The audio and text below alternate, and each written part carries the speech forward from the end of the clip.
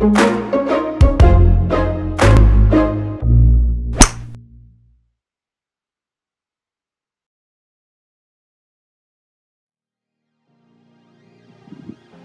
there. So this is a little bit more of an advanced idea in terms of how do I manage different distances when I'm near the green, I'm not on the green, um, so I might be 20, 30, 40, 50 yards, 60 yards from the green. How do I manage those distances? For one, you got to choose a club. Uh, many people use a pitching wedge. Remember, that's kind of like a 10 numerically, or a sand wedge, which is kind of like an 11 numerically. Remember, the higher the number, the more loft on the club. So the idea would be to go ahead and get in your balance setup, start with that sort of Y of my arms and the club, and notice the ball's about in the middle of my feet. And I might even turn this target side foot a little bit outward. So I'm going to take a little practice swing, brush the grass. Okay? Practice swing, brush the grass.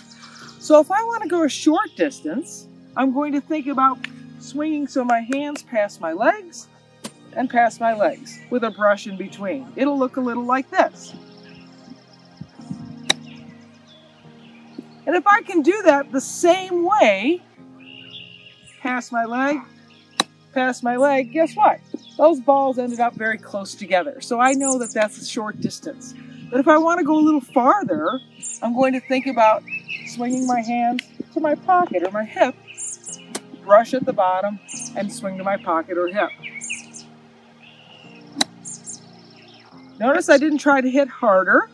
It's still smooth. I let the length of the swing change the distance the ball went. Pocket, pocket. And those balls finish similar in distance. Yet, if I want to go farther, well, I'll think about swinging my hands up somewhere around chest high, brush at the bottom, and chest high. So once again, not swinging harder, chest, chest. That ball is going to go a little different distance, but I can start to count on the distance that it'll go. So think about not so much where the club goes because I can't feel that, think about my hands, leg to leg, pocket to pocket, and chest to chest. See how that works for you as a little more advanced player.